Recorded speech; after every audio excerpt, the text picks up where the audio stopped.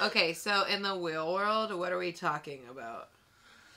We're talking about being too busy to roller skate. Wah, wah. Has this ever happened to you? Have you ever been too busy to roller skate? Babe, you know that. I'm asking for the sake of the people. I know. Yes. Um actually I think I went two weeks. Um, that's embarrassing. Without skating. I don't know how it slipped away. Was it really two weeks? Where was Memorial Day? I don't know. Yeah. Memorial Day was the last day, and then I put my skates on today as in Sunday when we're recording this. Um, just real quick and I've just been so freaking busy and it sucks. Yeah, and you've been like really tired every time you come home. yeah, when I do have time, I'm like tired or like drained 'cause it's so freaking hot. Like, I thought I was gonna skate last weekend and then we painted the ramp.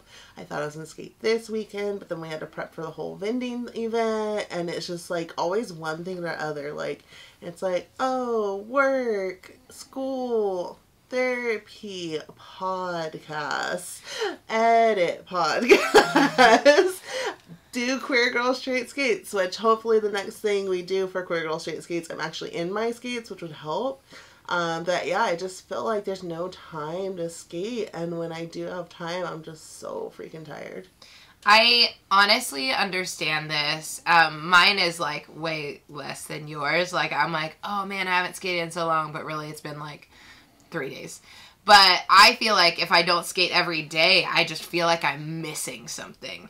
But some days it's just like I'm so, so, so busy. And the reason why I wanted to talk about this is because both of us are in a spot where we're too busy to be skating as much as we'd like to be skating. And I also get a lot of people in my inbox asking about this. Like a lot of people expressing, like, I'm a nurse and, you know, I work these long shifts and then I come home and I'm just exhausted. Like, I can't mm-hmm. put my skates on. I want to skate so bad. Or I'm in school and then I work full time and I want to skate, but like, I'm just at the end of the day, I can't, like, I'm so tired or like I can't get up early. I already have to get up early for work. And so I think it's important to talk about this because I don't ever hear people talking about this. Like, I don't ever hear people talking about like being too busy to skate because I think it's kind of stigmatized within the skate community. Like, you prioritize skating, you make time for skating. And I think that we should, you know, like take a breath and talk about how maybe it's actually pretty normal, especially when you are an adult and you have like all these responsibilities. Ding, ding, ding, ding. That's the whole thing. That's why a lot of people don't talk about it.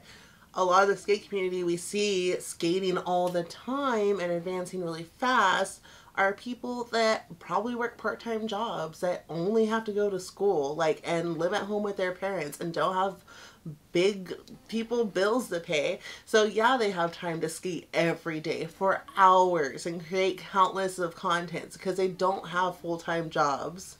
Yeah, and I just think that that can get discouraging when you're watching on the internet, you know, like you're watching these people do you know, go to the skate park all the time or like get these dance moves down that you're like, oh man, like I wish I could do that or I wish I would have the time to go on a trail skate or what have you.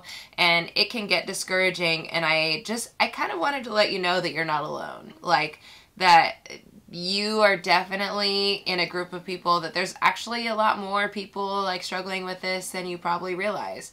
And that it's very normal for you Yeah, to feel and then way. you do feel guilty because it's like I would I hit over a hundred days straight like skating, and I felt like I was advancing and doing so good, and then it was just like oh a little slip here, and then it was like oh back skating, and then it was like oh I used to be able to put my skates on at work, but now we're so freaking busy I can't even put my skates on at work. And then it's just like adds up more and more, and then you're just like, wait, how many days has it been? And then you feel like the pressure to put your skates on instead of wanting to but there shouldn't be pressure. It should just be Mhm. like, oh, when I have time and I feel good, I'll skate. It shouldn't feel like this thing that's looming is like, you gotta skate, you gotta skate. It should be like, oh, dude, yeah, I got ti I got free time. I'm feeling good. Let's skate. Not like something that's like a a task that you have to check off, like a little thing to t- check off your to do list. Yeah, I, the other day I was just thinking about um, when we lived at our old house and how we used to like go and skate all the time. Like we were Yeah. always going on skate adventures, like every day or like every other day. Like we would go and skate, even if it was just like you know, to go grab a coffee Mm-hmm. or to the 7-Eleven or something and I miss that. Like I miss just like skating in the street with you and stuff, but Yeah. life has changed so much since then, you know? Mhm. Like nowadays, I know I like is another thing that people talk to me. They're like, "How do you even do it? Like you're so busy." And Shove is so busy too. Like Shove has like what do you have in in a given week? I mean, I guess you just kind of talked about it, but Monday, 9 to 5. Tuesday, 9 to 4. Then go straight to school from 5 to 10. Come home at 10.30. Have stress where I can't sleep till 1 in the morning. Sleep restlessly. Do it all over again till 10 o'clock. Then the next day, same thing till 10 o'clock. so that's what, like 13 hour days. And then on Friday, I just work from 9 to 5. And then I get home, and then it's like maybe a rest time, maybe podcast, or maybe put the podcast off till Sunday. Um, therapy is usually somewhere within that week, like in the morning too.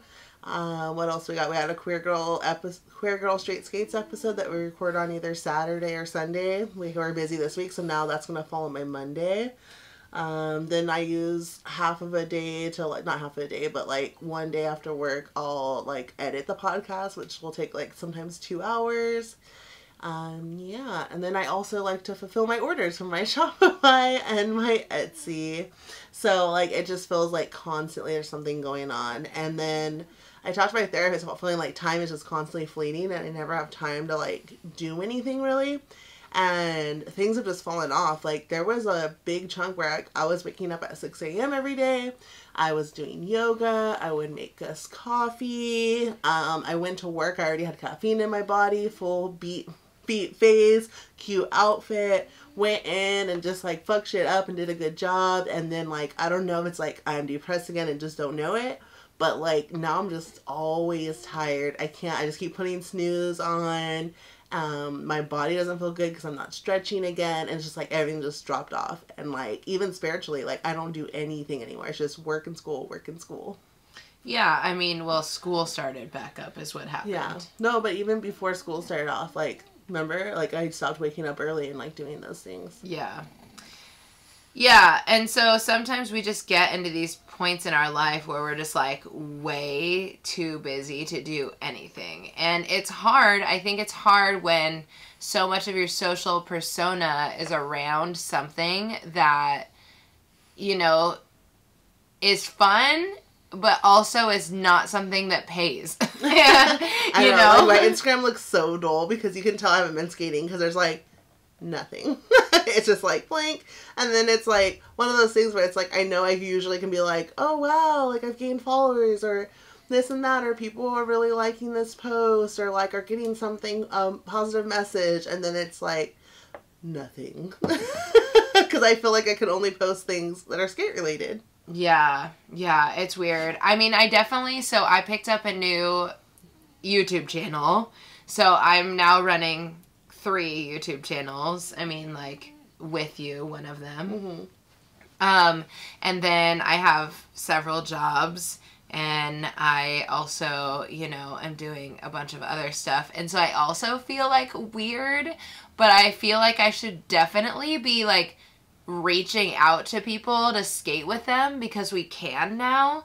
But I also feel like it's so weird being like, okay, I created this life for myself for the last year and a half that doesn't involve being social at all. And I've all those gaps that I used to use with being social like I filled with other stuff, you know, running my business or doing whatever. I don't even know what I do, but I do stuff. And now I'm like, oh, like what do I cut away to be social again and to like go skating with people? Like I used to be all over that and I haven't done it in so long. Hmm. I don't know. You'll get there. yeah. I don't know. It's just like don't feel guilty, y'all. Like I mean, it's gonna happen, but just remember the reasons why we're skating. And I think it's okay if you're taking a break because you literally just physically can't, or because you have no time. It's okay. Your skates will be there waiting for you. Yeah, definitely. And sometimes, like, something that I was thinking about doing recently, it, and by recently, I mean like literally a couple hours ago when we were planning this out, I was thinking about this, is oh, maybe I should, because something I've been really considering to try and like make my life feel less stressful is to have more of a morning routine. And so I was thinking, like, yeah, like a morning routine can literally be 10 minutes. So, what if I woke up and it doesn't even matter what I'm wearing because I'm not like taking pictures or video or anything, and I just skated for 10 minutes? Like, what if I did that every morning? Like, I had a thought last week where I was like, what if I woke up early again? I mean, if I woke up early enough again, but then forced your tired, sleepy butt to get up too, because you never get up, you hate mornings. I know I'm the worst. And was like, let's skate to Stillhead and get a coffee and then skate back, because even that would be like a short skate. Yeah, like I think that that's such a good idea. Like just like forcing skating into the routine somehow.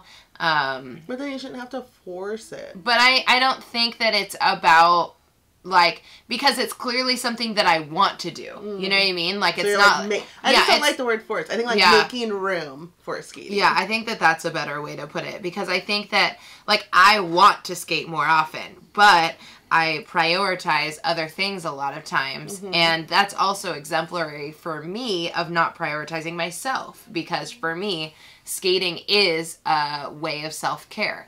And so I need to find ways to make room for that self care and to mm-hmm. prioritize that self care because honestly, I prioritize work a lot of times because I'm like, oh, I need to make sure like I can provide for my family or whatever. And like, if I'm not a full person to be able to work and provide for my family, then I'm just gonna get burnout. Mm-hmm. And for me, skating is one of the ways that like fuels that. So that's like a solution that I'm thinking of, but that might not necessarily work for you in your situation. You just have to like find out what works for you. How often do you realistically want to skate? Once you decide that, then find a way to prioritize skating that often. True that. Yeah. All right, that is the wheel world.